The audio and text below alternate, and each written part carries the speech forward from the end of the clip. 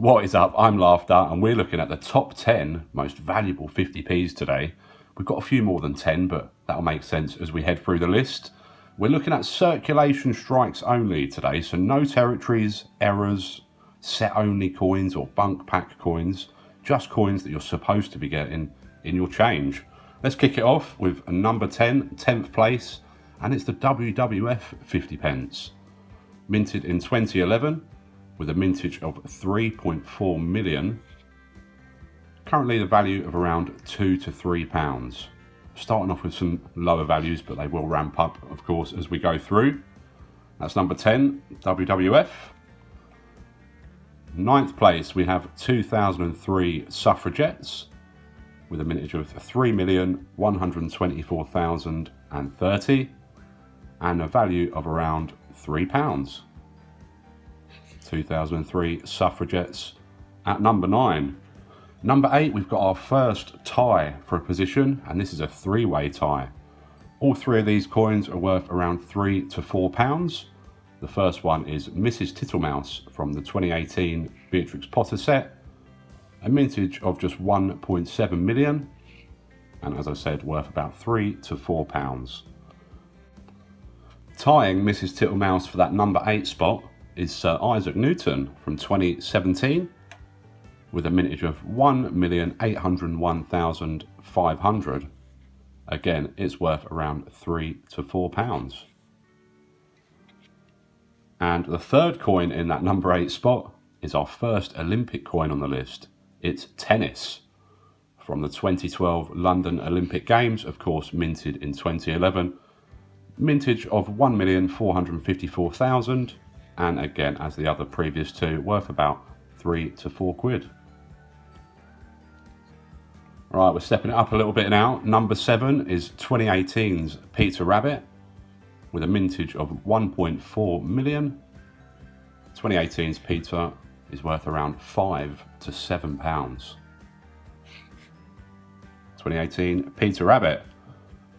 And as per usual, straight after the rabbit comes the bunny. 2018 Flopsy Bunny.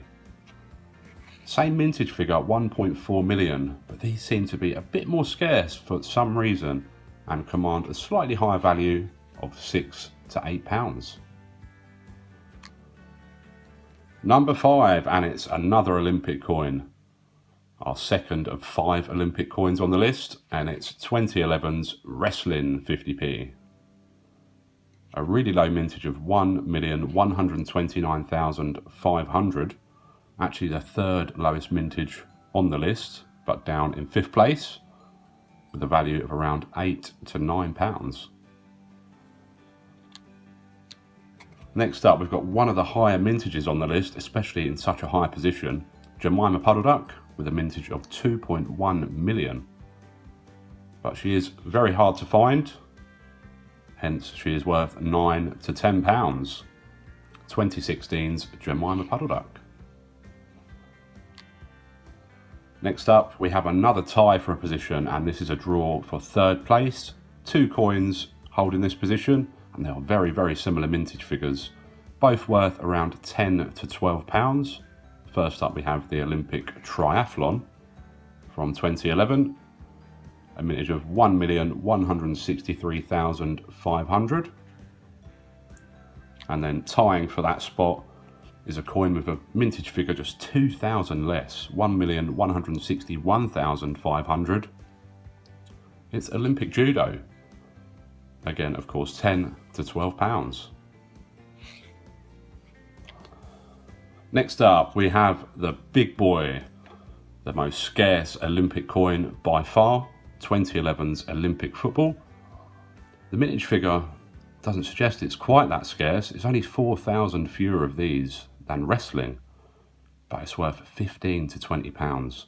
Mintage figure of 1,125,500. These are very, very hard to find and the value is rising pretty rapidly, around 15 to 20 pounds. And then the number one spot, I don't think this will ever be knocked off of the uh, top of the podium, the Kew Gardens from 2009.